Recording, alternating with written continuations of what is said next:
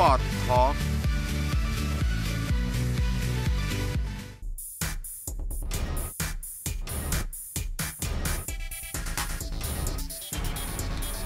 มีประทีปปานขาวเดาะบอลโด่งขึ้นมา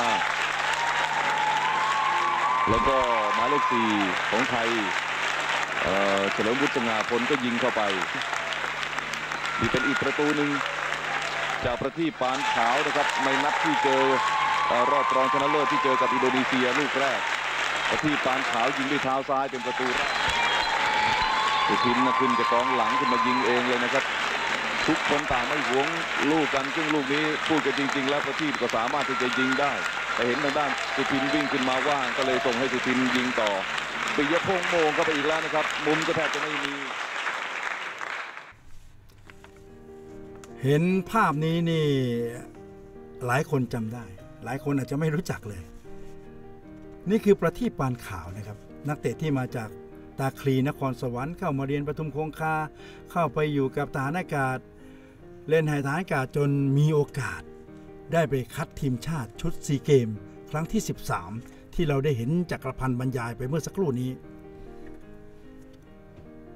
นี่คือเฉลิมวุฒิสง่าพลครับเพื่อนทีมชาติที่เล่นด้วยกันในชุดซีเกม ความที่เขาไม่ได้ยิน อาจจะเป็นโอกาสทองก็ได้ เพราะว่าทำให้ประทีปนั้นโด่งดังแตกต่างกว่าปีกทั่ว ๆ ไป ปีกคนอื่นนี่เวลาลงสนามสุพัชราใสยพอได้บอลนี่คนดูจะตะโกนพร้อมกันครับ โยนโยนโยนโยนกองหน้ายังไม่มีปีกก็ต้องโยน แต่ประทีปไม่สน คนดูจะตะโกนยังไง เขาไม่สนครับ พาลูกไปเส้นหลัง แล้วก็โยนในจังหวะที่เหมาะสม ให้พิชัยคงศรีมั่งปิยพงษ์ผิวอ่อนมั่งหรือแม้แต่เฉลิมวุฒิสง่าพลยิงประตูทำให้ไทยได้เหรียญทอง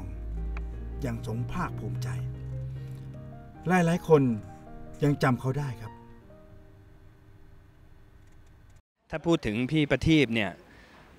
ผมจะคิดถึงตอนเด็กๆ ตอนที่เราได้ดูแกเล่นตอนซีเกมครั้งที่ 13 ที่ไทยเป็นเจ้าภาพเนี่ยครั้งนั้นที่คนดูเยอะมาก แล้วก็ตัวแกเองเนี่ยแกจะเล่นทางปีกขวาเนี่ยผมจะชอบมากเลย สไตล์การเล่นแกจะเร็ว แล้วก็คือตัวแกเป็นอดีตเล่นของทออด้วยอะไรด้วยก็คือผมก็มีความชอบ สมัยก่อนเนี่ยประทีปปานขาวเนี่ยเขาเป็นซูเปอร์สตาร์นะครับก็คือออรุ่นนั้นก็มีพวกปิยะพงษ์ผิวอ่อนอวีระพงษ์เพ็งลี นทีทองสุขแก้วอะไรพวกนี้ฮะพวกนี้ก็ชุดนี้เป็นชุดที่โด่งดังมากในสมัยก่อน โดยเฉพาะประทีปปานขาวนี่เขาเรียกว่าจรวดจรวดทางเรียบหรือจรวดใบครับเขาเป็นเขาเป็นคนที่มีมนุษยสัมพันธ์ที่ดีนะกับกับเพื่อนๆ พี่ๆ น้องๆนะแล้วก็เขาการเล่นบอลของเขาสมัยก่อนมีความเร็ว แล้วก็เป็นตัวที่สร้างชื่อเสียงให้กับประเทศชาติ แล้วก็สร้างชื่อเสียงให้กับปิยพงษ์ผิวอ่อนด้วย เพราะเขาจะเป็นเล่นเป็นปีก แล้วก็ผ่านลูกอะไรสวยๆงามๆให้กับปิยพงษ์ตลอดนะครับ เป็นผู้เล่นที่มีความเร็วสูงตามสภาพของคนที่มีส่วนสูงไม่ถึงเกณฑ์อยู่แล้วนะ น่าจะร้อยหกสิบกว่านิด ๆ อะไรอย่างเงี้ยนะครับ เพราะฉะนั้นตรงเนี้ยคนที่จะมี คุณสมบัติพวกนี้ได้เนี่ยต้องเป็นคนที่มีความสามารถสูงสปีดต้องดี นั่นเป็นคุณสมบัติอันแรกของประทีปและสิ่งที่เขามีคืออ